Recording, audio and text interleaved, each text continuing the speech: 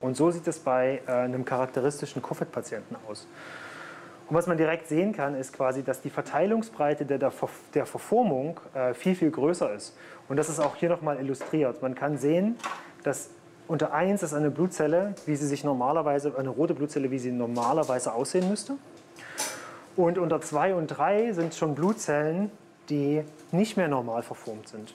Und wir haben halt bei den Covid-Patienten tatsächlich gesehen, dass diese dass alle Zwischenstufen zwischen 1 bis 3, alle äh, Zwischenstufen vorhanden sind. Ähm, und das ist hoch, also das ist höchst ungewöhnlich. Diese Veränderung der Blutzellen ist die bedeutende Entdeckung des ca. zehnköpfigen Forscherteams des Max-Planck-Zentrums für Physik und Medizin in Erlangen. Seit dem ersten Lockdown erforschen sie das Covid-19-Virus. Dazu nutzen die Forscher ein eigens entwickeltes Verfahren zum Analysieren der Blutproben, etwa 1000 Zellen pro Sekunde. Die, das Verfahren ist äh, eigentlich sehr ähnlich zu dem, was die Zellen im Körper auch machen müssen. Die sind ja in Lösung und müssen dann den, durch die Kapillaren durchfließen.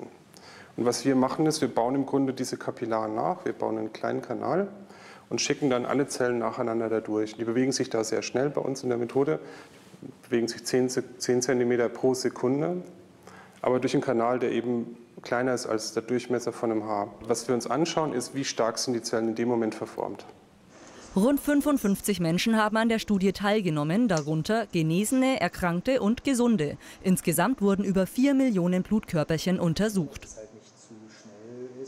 Bei manchen Patienten hat man gesehen, dass diese Veränderung über sehr lange Zeit persistiert hat, dass die also auch noch Monate später immer noch nicht die richtigen Eigenschaften hatten.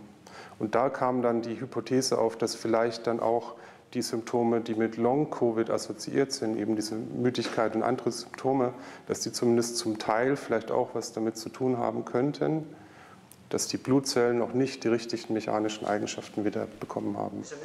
Daher die Hypothese, die Veränderung der Blutzellen könnte eine mögliche Ursache für Long-Covid-Symptome sein. Mit diesem Verfahren könnten zukünftige Infektionen frühzeitig erkannt oder sogar Therapien gegen Symptome entwickelt werden. Auf dieser Grundlage sind am Max-Planck-Institut weitere Forschungen an Long-Covid geplant.